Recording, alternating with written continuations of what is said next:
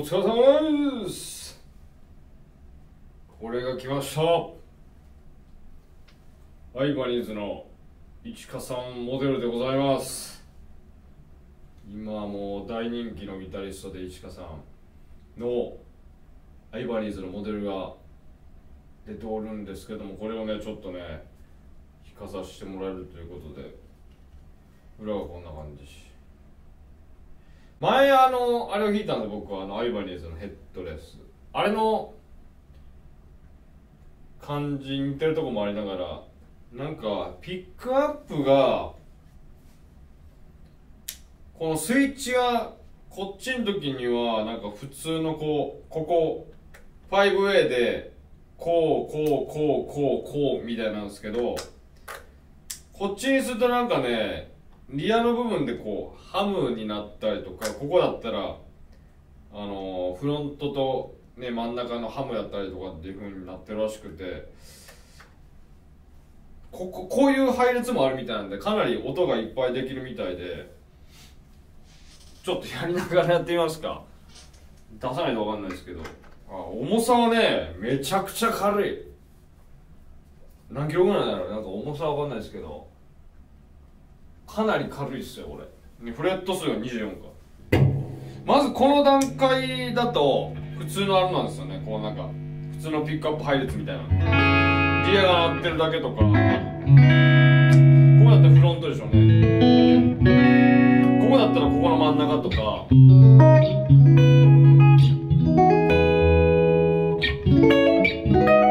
でもいい音する。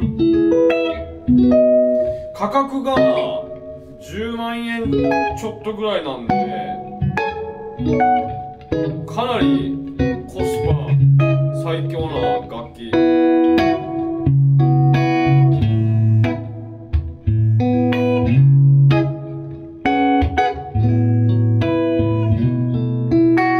でこっちにするとなんかあのね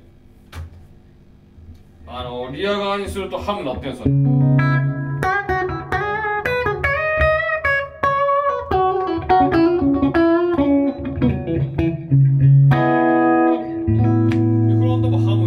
ムになる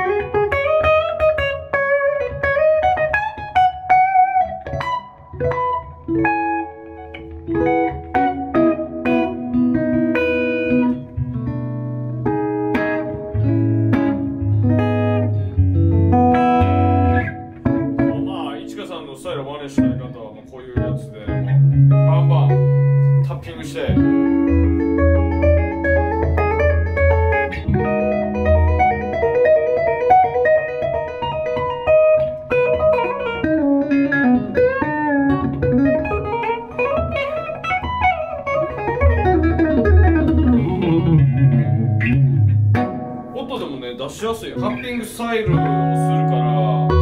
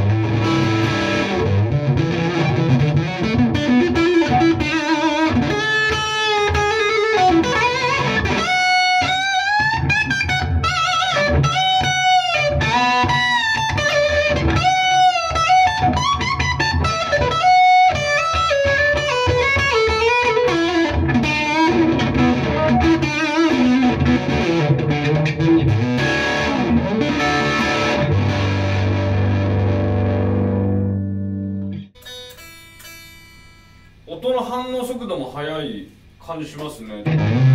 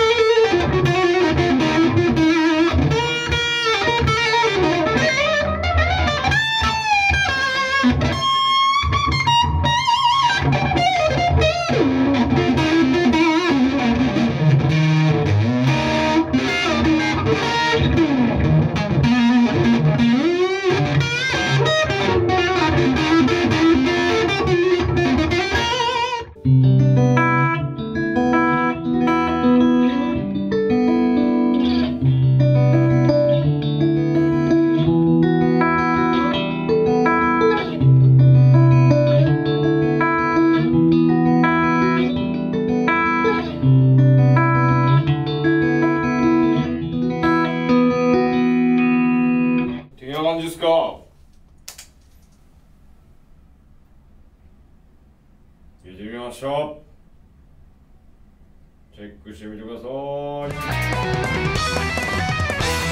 い。